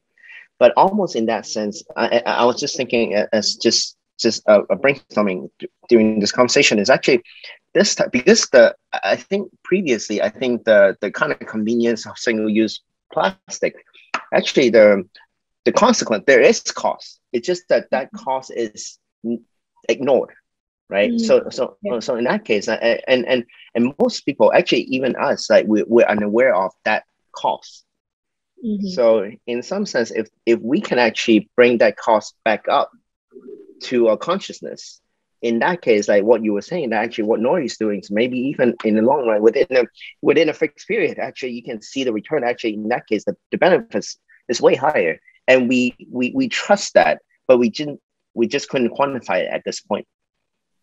Right? So so i think in some sense i, I think we well, of course we, we're trying to convince the the kind of conventional economy of okay this is cheaper this but at the same time maybe there's another way to actually in, like to visualize or like to bring in the consciousness of actually what was the like what is the current linear model is actually what is that real cost? Because it's just that that cost wasn't actually um accountable Mm. I, I think to the actual users. Yeah. that point about the actual cost, I think, is exceptionally interesting. Um, mm. Perhaps the first actual cost that comes to is the cost of dealing with the waste, mm. which is resulting from the product. But for example, if you think about the research and production that went into creating that product or building or ingredient or material from the beginning, that is also being wasted. So, for example, to think about it in context of um, a building, for instance, there was energy and money and resources and work that went into building that building. And so, whenever it becomes destroyed and a new one is replaced in its stead, it's not just the cost of the new materials to create the new building or the future costs of the materials, which will eventually um, become waste, but the original cost um, from the original building. Or in the case of a package, for example, the original cost that went into that package. Um, so, I, yeah, I think that this kind of uh, thought of phasal real cost is also very insightful. Um, and I hope to see some visualizations, visualizations in the future of this actual cost uh, in other industries.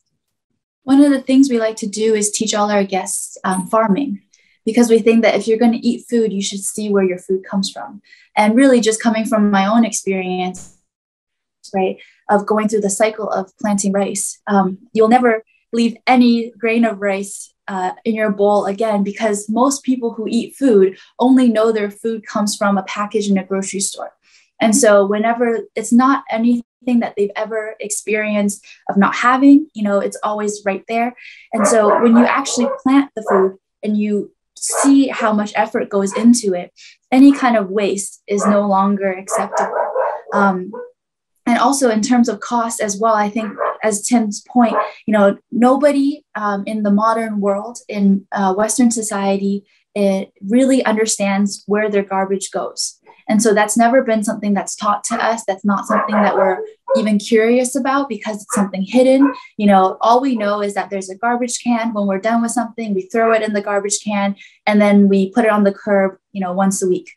And then it's gone out of our minds. And so, because we don't have that connection to the beginning of when we use it to the end, you know, there's no need for us to even think about like when we see plastic coming into the ocean, that's the first time we're like, oh, you know, this actually has to go somewhere.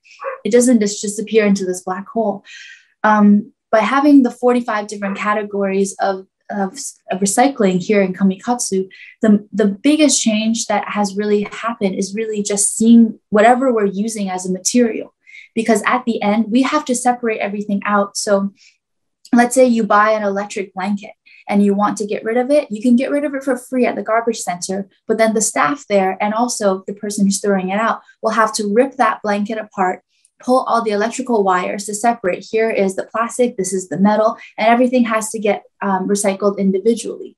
And so you start to actually see the composite rather than just the one item that you call garbage because you don't need it anymore and then that starts to get people to understand that everything we use is actually just a material, right? That the end of the life of this item is not garbage. The end of the life of this material is the same material that it was when it started. It's just the way that you perceive it now when you don't need it is you call it garbage. Same thing is if you have food that you don't want to eat anymore because you're full, you can throw it away as garbage, but then two hours later, when you're hungry again, you know, that slice of pizza is now looking great.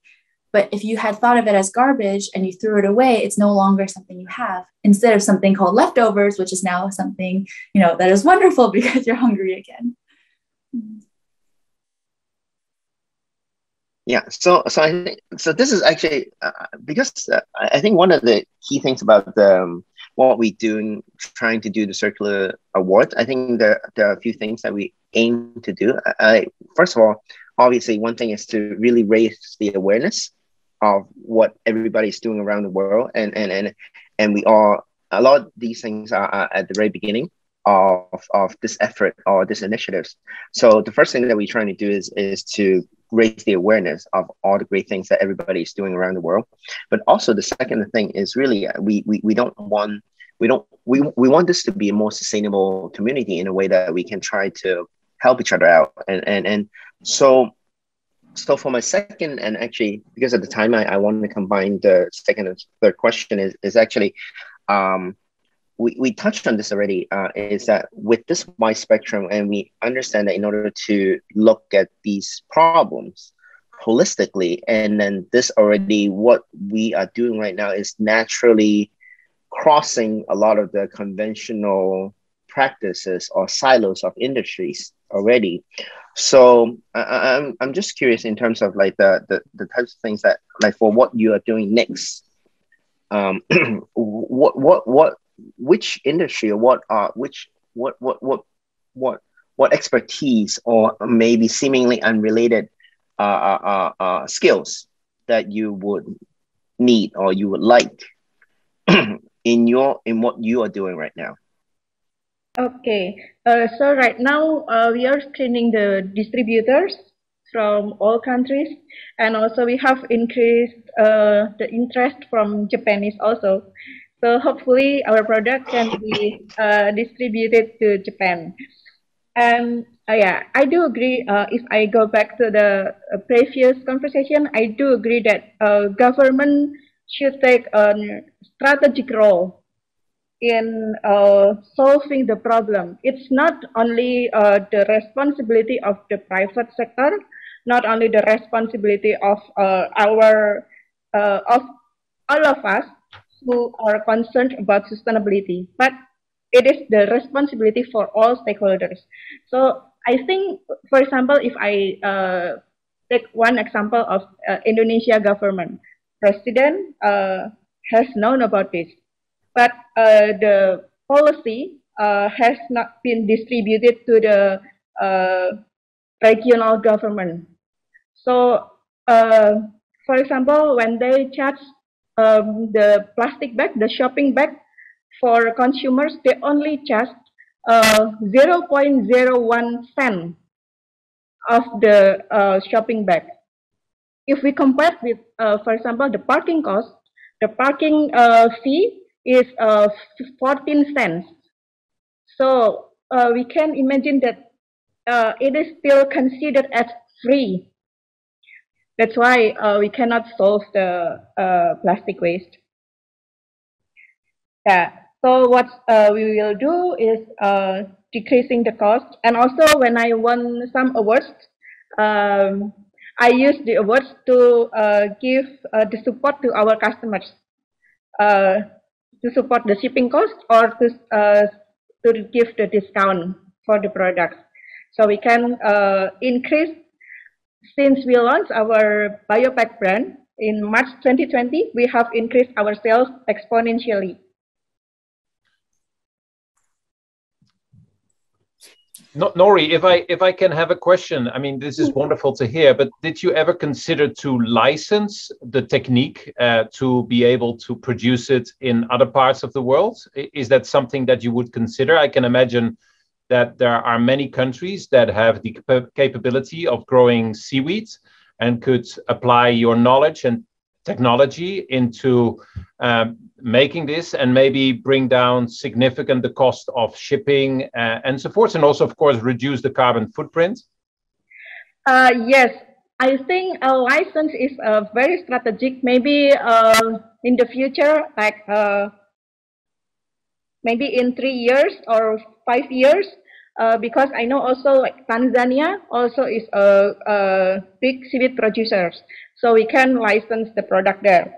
Or uh, once we can produce uh, cutlery, now the prototype has been has finished, but uh, we have not launched yet. Mm-hmm. Um, when we uh, produce uh, the cutlery, it is a lot of void volume, so it costs the inefficiency in distribution cost. So we want to license. Okay, that makes yeah. sense. Yeah, uh, yeah. Uh, uh, on on a, on a positive note, Hong Kong uh, is uh, is pushing for new legislation where all takeaway packaging needs to be home compostable, uh, starting very soon. So that mm-hmm. means there's definitely significant market market to to take by your company within Hong Kong itself. You know, Hong Kong is the capital of takeaway food in the world. Um, um, people do not cook a lot at home, and uh, particularly during the pandemic, the, the amount of takeaway has significantly grown. So, so of course, uh, to see this legislation being pushed is a is a is a is a very positive development in Hong Kong, and we have actually seen through that that of course the demand on biodeg- home biodegradable packaging has grown significantly, and along with that, we have seen prices drop by up to 100%. So, uh, you know, where we see where volume comes into play, also we see that there is efficiencies um, in in terms of pricing and so forth. So. Um, uh, th- I think a very positive development, and I hope, of course, other countries will develop very similar posit- uh, policies within within the years to come, and that would open significant you know markets to to be taken for you wow hopefully i can find partners in hong kong and uh, with you stay in touch. Uh, i think okay. it's, uh, it's really important richard uh, to bring up those positive examples. So thank you for that because that's part of this whole idea i guess you know that we need the kind of community of sharing these positive examples and having them spread. Um, really quickly, I want to just just mention one thing I'm learning from you, Nori, is um, is about um, a new kind of organic or grown material. So I've been thinking a lot about grown materials, and one um, interesting aspect for me of of biomaterials or grown materials for for architecture has been that they it starts to engage with land use, with things like forestry and agriculture and food because you know if we are now going to get our architectural materials from forests in terms of wood or you know from agricultural waste um, then all of a sudden we're kind of doing this cross-disciplinary thing that you're describing tim and, and, and Kelsie. And i think it's just really interesting. It, it, it kind of invites the kind of system thinking and collaboration because all of a sudden you know, an architect and an architectural material supplier has to talk to the person who's an expert in forestry to find the right, you know, balance of things. And then you're also talking about the potential use of land for food and what's the right balance there. Mm-hmm. Nora, yours is interesting because you're it's possible to grow materials not on land but on water. That's a, an incredible idea. But the one last on the on the topic of positive examples, one thing I've been fascinated by recently is what's called agrivoltaics. And it's basically the idea that you can combine large scale photovoltaic arrays, this kind of utility scale um, renewable energy, with agriculture, growing food. Um, and so you have agriculture, energy production, and water all in this weird kind of synergy. It's not totally, you know, natural, but the shade of the photovoltaics actually helps produce new and better kinds of vegetables. And it's actually really good for areas of drought because it allows for use of a soil that wouldn't be possible without that shade. So these strange hybrids that are that are possible I think could could be a really exciting direction and another positive example for how circular approaches can really help cross industries and and and have these positive feedback loops. Yes, exactly. I hope uh, leather seaweed can be the default for uh, packaging materials and also for, for example, for building materials. So we do not uh, depend uh, too much on the forest, on the land, because the land is very limited. But uh, we still have a very huge potential in our seashore.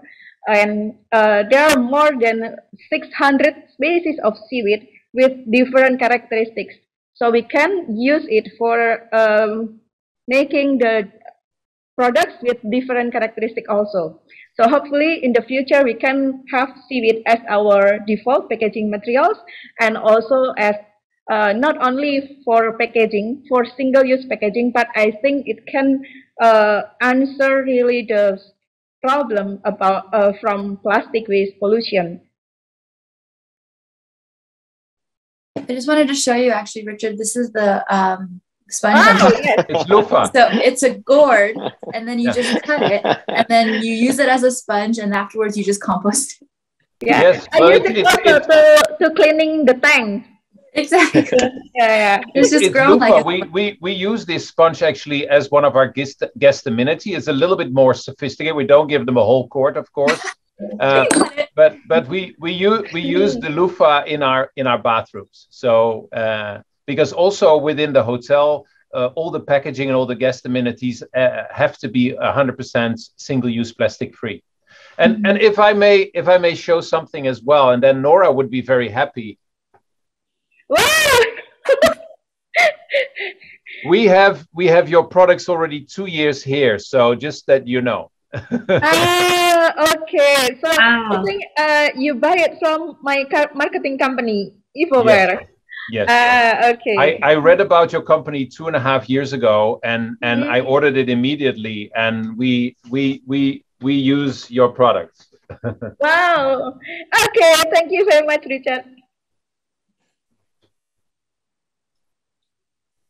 This is great. I, I don't I don't know how much time we we, we have more, but I, I mean the yeah, I, I think there, there, there's a few things. I, am sure, like like Linda, I think like, one thing that I do want to bring up. Um, I, am sure that because the pandemic obviously uh, kind of ha- have an impact on what you're doing as well. So, mm-hmm. but just to to kind of throw an idea out because we we before the pandemic we also did a um uh, uh, kind of a we did a project in Hida, uh, Furukawa, and, and and we were we were trying to so so there are some programs that we work with University of Toronto, uh, Parsons, and other universities uh, to bring students into the communities to actually work with them. So in a way that when we're thinking about urban design, so it's not just about from from a from building perspective, but also working with the community in that sense. I, I, I was just thinking, like these types of things would be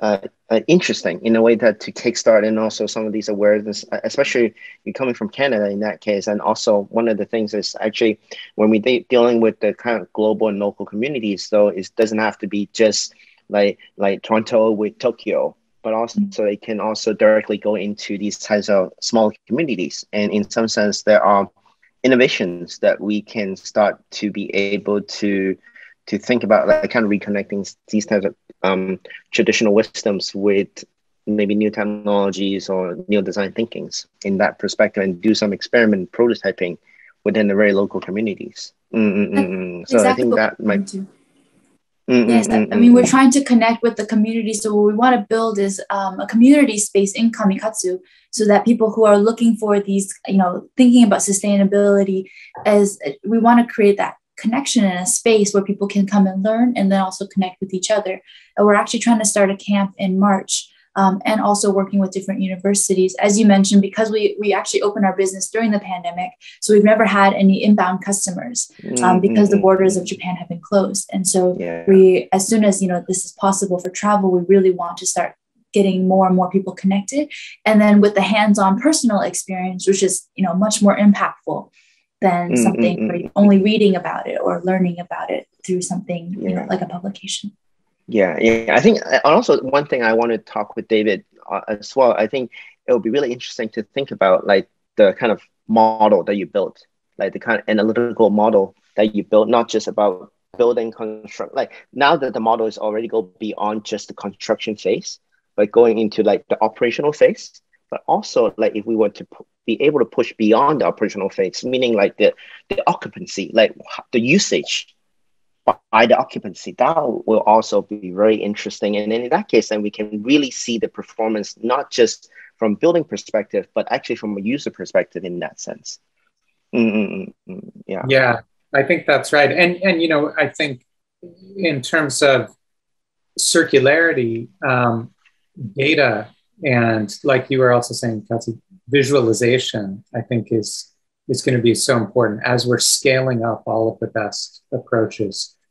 Um, understanding the data, you know, at the right resolution. You know, mm. does it make sense to ship certain things to other places if they can be transformed there? But what's the data of, you know, the carbon emitted for the shipping?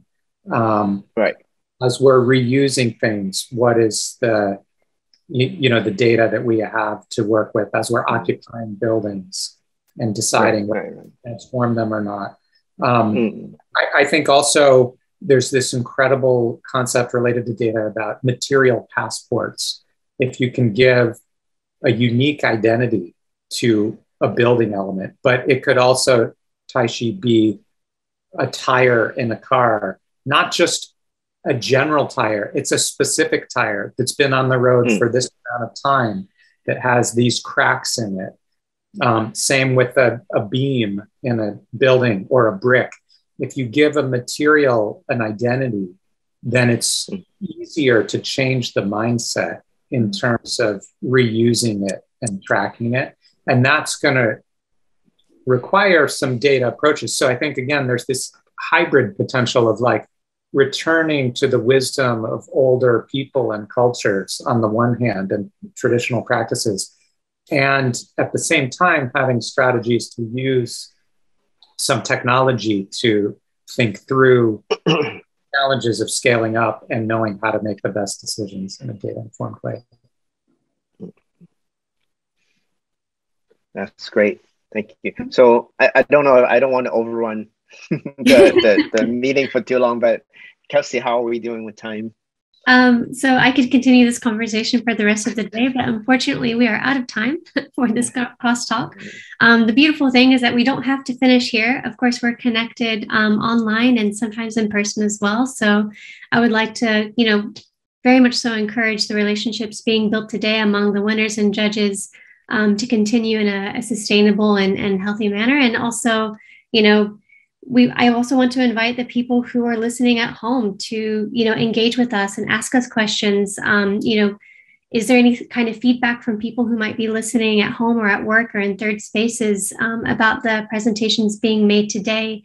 Um, something that i am particularly uh, appreciated about the forum that we had today was um, and of course we've covered so much but about um, people and their labor people and their work I think that whenever we're thinking about, um, you know, people being activated in kamikatsu to experience, um, you know, an in-depth, in-person um, circular lifestyle, or whenever we think about the people in Indonesia who are working hard to harvest seaweed for an endeavor which maybe they have, uh, you know, sincere sympathy for, towards, but perhaps they're just doing their job and they're they're doing the work that, that they that they want to do.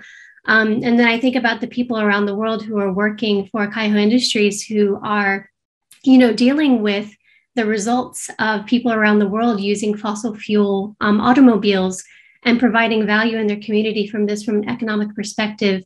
Um, you know, I think that this uh, common thread between all of these projects is very uh, interesting and something that um, I hope is also inspiring to the people in the audiences.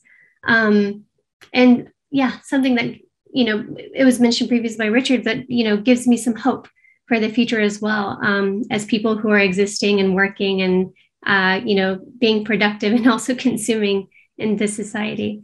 So anyways, with, with that, um, I'm going to go ahead and begin to close uh, the ceremonies for today. So here we go. Great. So as I mentioned previously, um, we do warmly welcome people to give us their comments, ask questions. Um, if you have anything that you'd like clarified about today's uh, summit activities, we would really love to hear from you all. Um, so please feel free to scan the code and uh, fill out the survey provided here. Um, next up is going to be our second panel for the crQlr Summit. Uh, the title for this panel is Materials for a Circular Economy, a, cir a circular economy for materials. Um, this is going to be hosted from Kyoto. Uh, we will be joined by moderator Junya Ida, who is a creative director at Loftwork Kyoto. We will also be joined by two judges, uh, Ana Laura Cantera, who is a bioelectronic artist, researcher, and professor at UNTREF University. We will also be joined by Anita DeWitt, who is the founder of Reblend. So I look forward very much to uh, that panel. And with this, I would like to draw to a close our uh, panel today. Thank you so much, everybody, for joining us. It was my great pleasure to hear from you all. Bye. Thank you. Thank you, Thank you everybody. Bye bye. Good luck to all. Thank you. Thank you. Take care. Bye.